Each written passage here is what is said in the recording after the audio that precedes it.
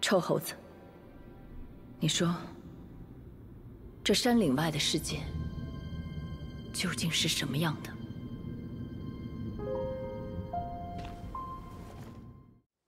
Black Myth Wukong is a game full of beautiful cutscenes, memorable characters, and incredible boss fights.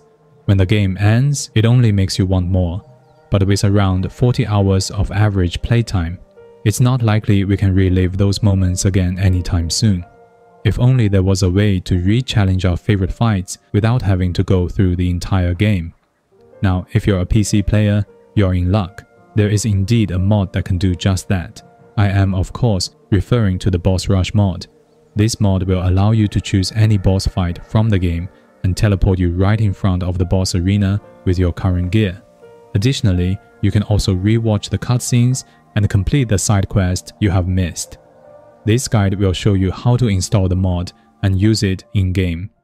Please look down in the description below to find the link to this mod, Boss Rush v3. This mod is written in C Sharp. I think this is largely due to Wukong's base engine. So you will also need to install another support mod C Sharp Loader, link also in description. Now, before we do anything, we need to, of course, back up our save file first in case anything goes south.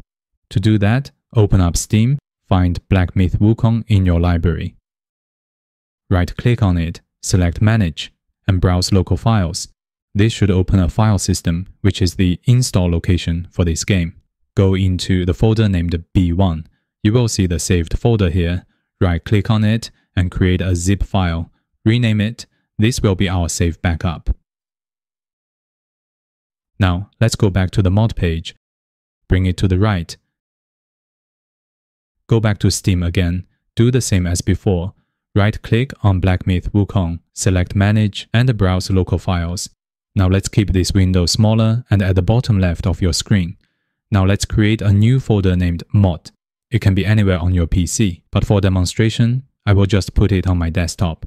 This will be the staging location where we will be downloading and unzipping our mods.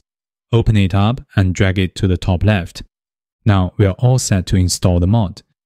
On the Nexus page of C Sharp Loader, click on the Files tab, click on Manual Download,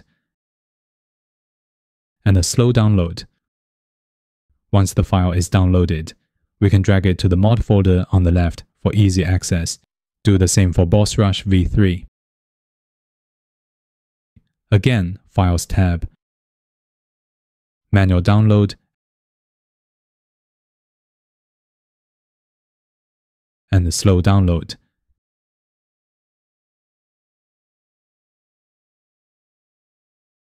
Now both mods are downloaded. Let's install them.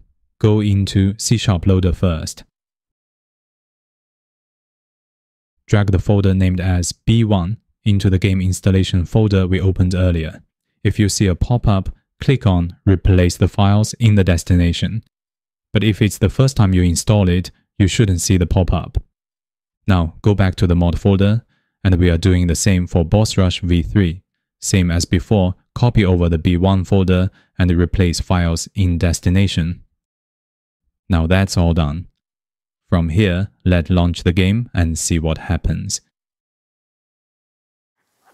Make sure your character is fully loaded into the game. Press the shortcut to open the mod menu, Ctrl plus L.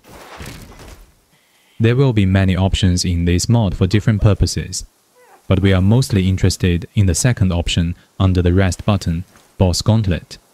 From here, you can select boss encounters by chapters, with the first option being a random boss encounter.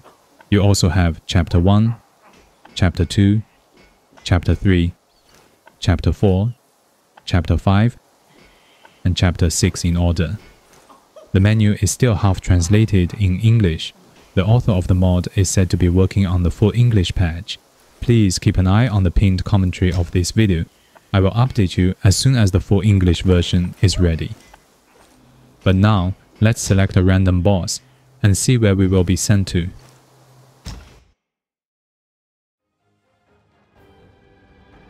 Looks like we will be fighting our piggy uncle again. Now, there you have it. This is how to install the Boss Rush mod so that we can re-challenge our favorite boss fight endlessly. For me, to be able to rewatch the fourth Spider Sisters cutscene is a godsend. Again, please check out the pinned comment to have the latest update on the translation progress. Now, I hope you find this guide helpful. Please leave a like and subscribe for more content like this. Thanks for watching and see you next time.